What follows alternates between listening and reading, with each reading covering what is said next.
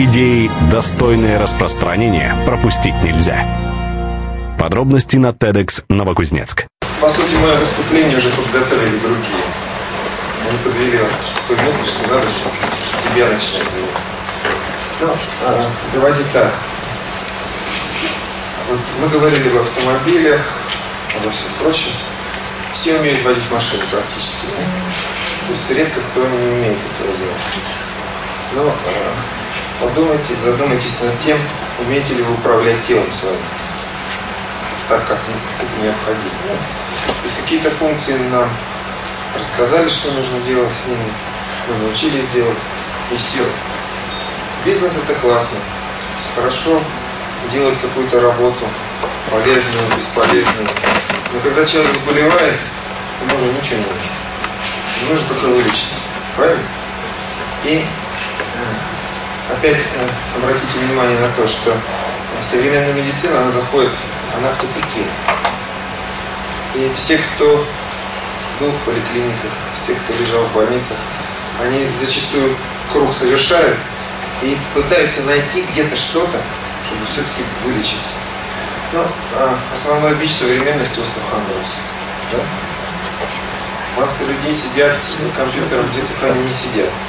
Либо они стоят, либо они работу работают с утра до вечера. И напрягается, напрягается, напрягается. Потом э, целая серия фитнес-индустрии возникла, э, которой, ну, да, это благо, это заставило людей шевелиться немножечко, но это опять напряжение. Почему сейчас пришли к йоге? Потому что йога учит расслаблять, йога учит меняться. Все-таки вот там, внутри. Не физически приседать там тысячу раз, или что-то делать, бегать. Это тоже полезно, безусловно. Но а, здесь немножко другая методика занятий. Поскольку я уже давно занимаюсь, вначале я занимался йогой как йога-терапией. Ну, то есть э, возник какой-то интерес, какая-то компания была, мы занимались, и потом ты понимаешь, что после этого тебе хорошо становится. Продолжаешь делать. А, я работал врачом-хирургом, и поэтому, когда стоишь в одной позе, потом идешь домой, не согнуться ничего не можешь, то тут сам Бог велел что-то делать. И э, понятно, что вспоминаешь то, от чего тебе хорошо становится. Вот. И постепенно так вот возникла такая авторская технология, по которой, собственно, мы и занимаемся. Это не говорит о том, что мы что-то новое изобрели. Просто методика тренировки, она разная у всех. Это любой спортсмен, любой тренер, он что-то свое изобретает. Что такое йога? Ну, вот современная интерпретация – это система психофизических тренировок. То есть э, человек приходит, и все равно он вынужден заниматься, начать заниматься с телом. И самое трудное – это начать вот с этого, расстелить коврик и начать заниматься. Чаще всего люди почему приходят? Молодой, здоровый, редко идут. Идут все, э, кому есть что лечить, кого что-то болит. Вот он туда ходил, сюда ходил, пришел, а можно? Можно. И вот э, йога издревле, она начиналась с йога-терапии. То есть э, человек начинает изучать свое тело, постепенно вот, посредством каких-то движений, что-то делает, какие-то упражнения, и получает от этого эффект. Древние заметили, что когда люди растягивают свое тело, они растягивают соединительную ткань. А, ну, я не буду вдаваться в подробности, это скелет для всех органов и систем. И самое удивительное, что предельное вытягивание соединительной ткани увеличивает иммунитет. И дает энергию. Все просто. Но это надо делать. Это надо делать правильно и грамотно.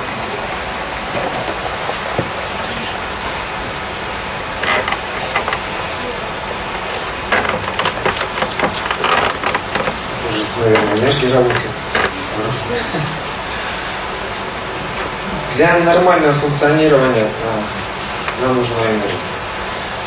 Ни для кого не секрет, сейчас везде в интернете, везде есть ауровизоры. Все пишут о том, что вот эта оболочка там диагностики проводит по. Ну, почему именно йога? А, Там все это уже давно написано. То есть все эти трактаты надо только брать и делать. Я когда начал копаться в этой системе, оказывается, на Руси практика была точно такая же. И ну, очень многие тренировочные технологии, они похожи. Недаром такое большое государство нужно было, а, во-первых, эти земли освоить, громадную территорию. Потом эти земли надо было с ними что-то делать, возделывать, построить на них города, поселки и еще это все охранять. Люди, как про-русских говорили, крестьяне тупые первобытные, не могли этого сделать. Поэтому э, была очень грамотно проработанная система тренировочная и на Руси, вот эта славянская система. Я когда начал представлять, что они похожи по э, своим методикам, по вот этому предельному вытягиванию. Просто вот эта индийская методика или арийская система, она больше отпиарена, только и всего. А сейчас начали э, появляться как раз тексты по славянской гимнастике. Еще скажу сразу, йога это не религия, это не секта. Потому что многие боятся. Почему? Еще идет э, ну, как бы такое отрицание, что это не для русских, это вот индийцы могут заниматься, для них. Но у каждого народа своя биомеханика, но анатомически мы все похожи. Поэтому говорить, что там могут заниматься, здесь не могут, это глупо. Когда люди смотрят на йогов, которые давно занимаются и очень много могут, то они все-таки пугаются. Они говорят, я это не смогу никак Есть простые формы, э, которые могут делать каждый человек. Есть более сложные варианты, э, когда уже тело проработано, когда мы можем сделать больше. Поэтому не надо бояться, и нужно начинать. Самое интересное, что вот эти занятия, они изменяют не только тело. Вначале человек э, занимается исключительно только этим. Это больно, это сложно. На это уходит от нескольких месяцев до полугода. Потом он замечает, что у него меняется эмоциональный фон, и в конечном итоге он начинает управлять своим сознанием. Ну, вот вы представьте, что э, в обычной жизни да, мы совершаем какие-то привычные движения. И любое вот это привычное движение, оно ограничено а, в каком плане? Ну, допустим, одним движением управляет ну, 10 клеток головного мозга. Если нужно сделать более сложное движение рукой или ногой, то э, волей-неволей человеку приходится включать дополнительные клетки. Он ищет это движение, включает какие-то дополнительные мышцы, и в конечном итоге это не мое высказывание, люди мне становятся. Они включают больше объема информации здесь. Отсюда просто надо делать вывод, что нужно делать с собой, чтобы вот можно было в офисе вот таким образом загнуться. Я устал сидеть за компьютером. Можно, да, некоторые могут и печать. Самое-то интересное, что в любых трактатах древних йоге написано, что эта система не должна, она должна содержаться в секрете. То есть простому смертному, просто так человеку с улицы этого не говорили. И э, все люди, которые с улицы приходили, они начинали сначала, они изменяли свою жизнь, свое отношение. Есть правило ямы и не ямы, то есть это первые две ступени, с которых все начинают. И, к сожалению, на этом останавливаются. Это правило, первое это правило, это ограничение. Что человек должен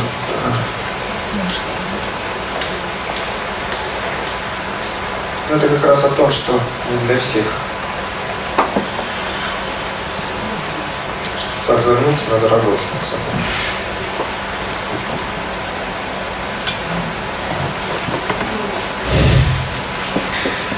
Это возможно.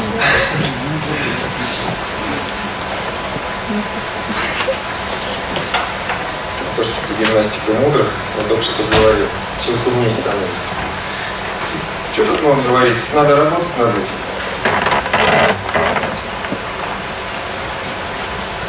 Вот они, пять ограничений.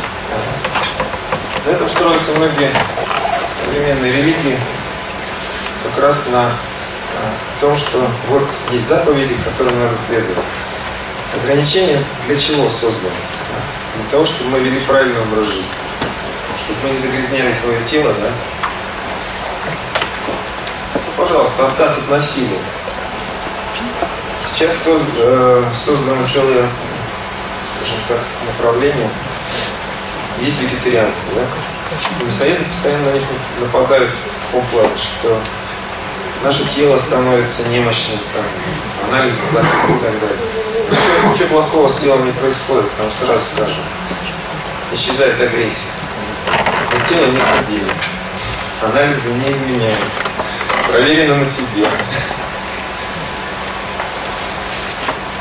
Отказ от лжи, от лжи или, э, ну, скажем так, нужно перестать врать себе. Вот как только ты перестаешь врать себе, перестаешь врать другим. Начинаешь чувствовать, когда обманывают тебя. Легко и просто. Врать себе сложно. Научиться не врать себе. Каждый раз пытаемся что-то изменить, но это хорошее. Вот то, что предыдущий оратор говорил, э, отказ от стремления к удовольствию раз. И сдержанность. Вот брахмачари это не, э, не воздержание половое, многие думают. А брахмачари это воздержанность во всем. В высказываниях, каких-то э, это диета, да? Ну, это много всего. И отказ от подарков. Вот это вот люди ждут. Я вам что-то дам, а вы мне взамен должны дать. И очень много привязанности от этого возникает в жизни. То есть э, это не наше физическое тело, наш дом, машина, это привязка к материальному. И как только ты перестаешь к ним привязываться, становится легко и просто. У тебя появляется дом и машина, ты спокойно к ним относишься. Это не части тела, поймите. И человек не только тело.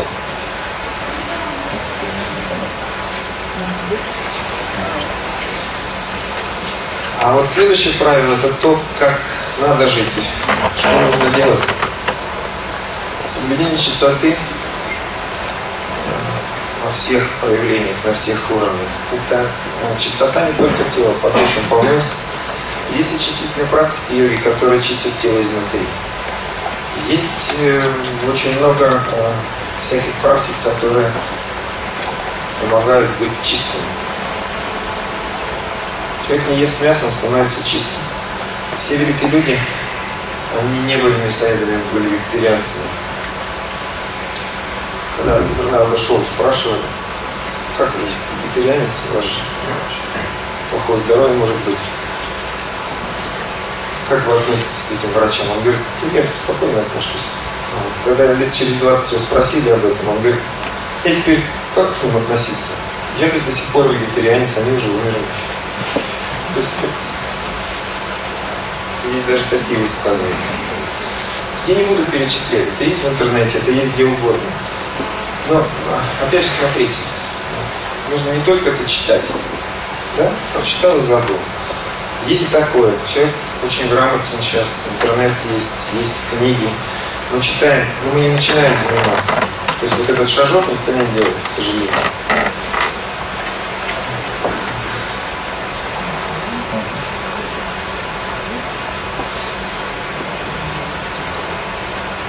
Ну, чего можно себя не?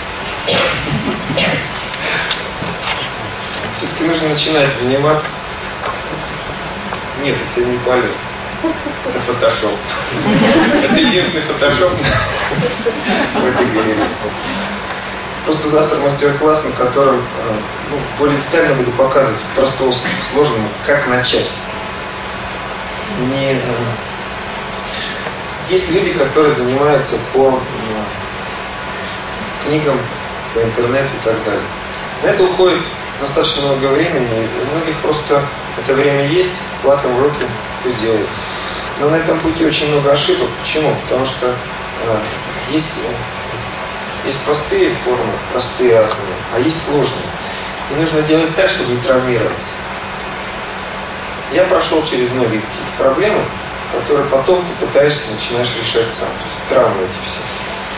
А, желание быстрее этого достичь успеха бесполезно.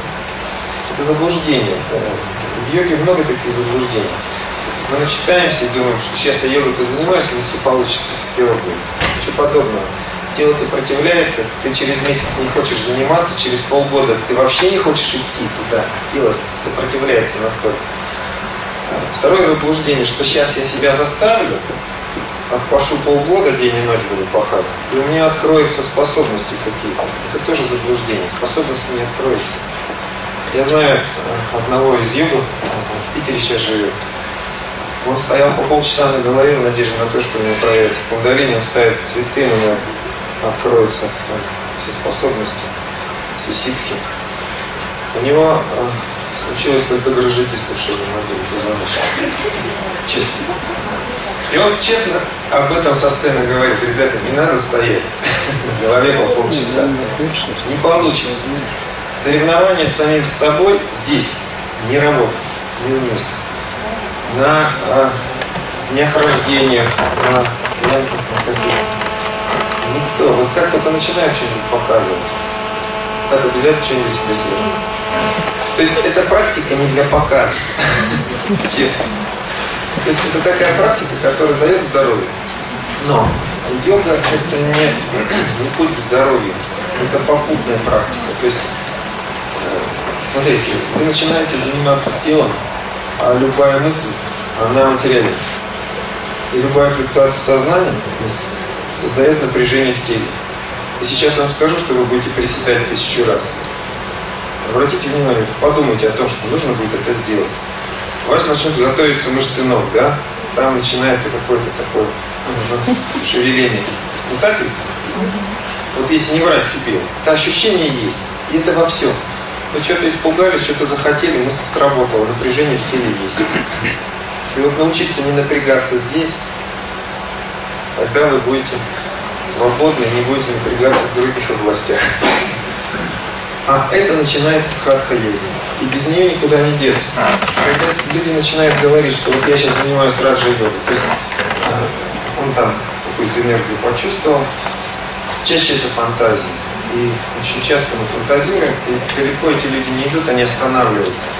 Очень много на моем пути было людей, которые говорили, что они там чуть не святые, ну не более того. То есть святых не прибавилось у нас людей со способностями не очень много, к счастью. Все эти фантазии завершают. Через какое-то время человек понимает, что этого нет. То есть обманывать других невозможно было. Если ты умеешь что-то делать, ты это делаешь, но не кричишь об этом. И любые ситхи, которые проявляются здесь, такие как малые ситхи для управления энергией, там, допустим, кто-то лечить начинает, как только он начинает писать объявление в газете, что надо лечить, зачастую эти лечения прекращаются. То есть а, основа пропадает. Как начинаешь хвастаться, все это исчезает. Это каждодневный труд. И есть даже такое вот высказывание Сидерского. Один из, скажем так, моих друзей, тех, кто подтолкнул меня к дальнейшему пути, это его затылок. Макушка его.